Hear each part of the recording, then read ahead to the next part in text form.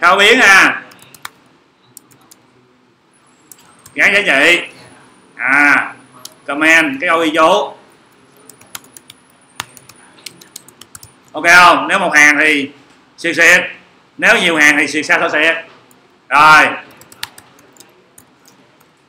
Hiểu chưa? Rồi, cộng trừ thì tính toán này nó có là sao?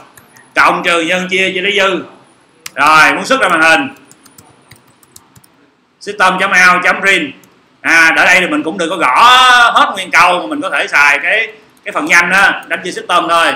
Chấm o cái nó ra, enter cái chấm print b, cái nó ra. Rồi xuất biến, thì để tên biến vậy thôi.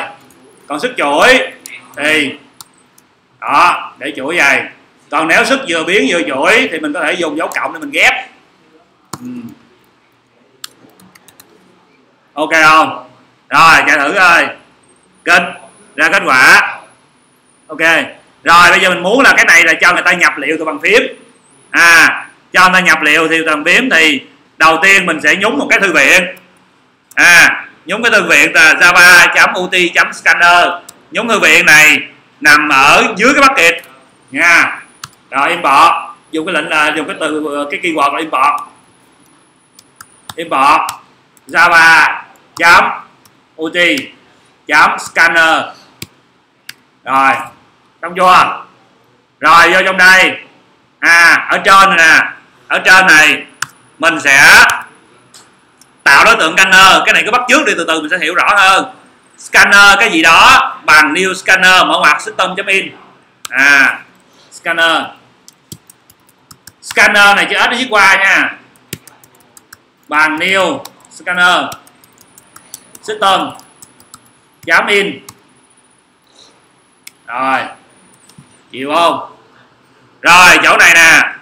Bắt đầu mình xài canner chấm. Chấm gì đó, ví dụ như là integer thì net in. Double net double. À còn chuỗi thì net net line. À ví dụ ở đây mình sẽ học là scanner chấm. Net net gì? Net in. Rồi, mình có được cái thằng a thằng integer đó rồi tiếp theo, scanner.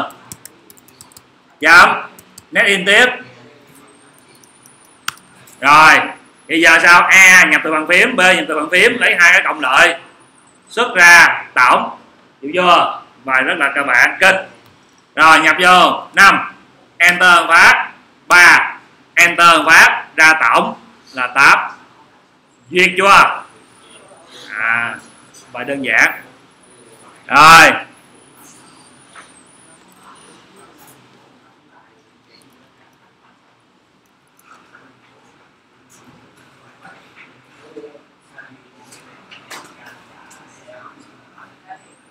Thank